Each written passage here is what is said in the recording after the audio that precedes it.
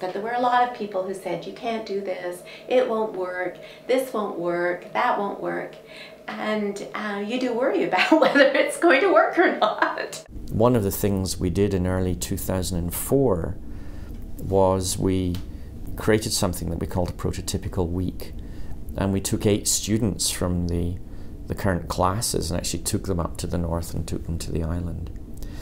And because we didn't have a building um, at UNBC in which to try this stuff out, we actually built um, a high tech classroom to try out the video conference, to see how it would work, and to see if the whole system was feasible. So that was our testing of, of the concept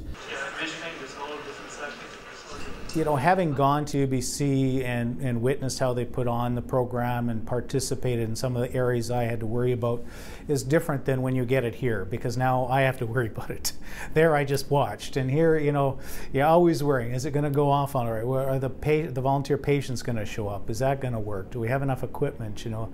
The kinds of worries that you have before you know it's going to work disappear the minute you can see it working. But you don't know it's going to work time. It, it, gave me way more confidence that, okay, we can do this, that, that this is a doable venture.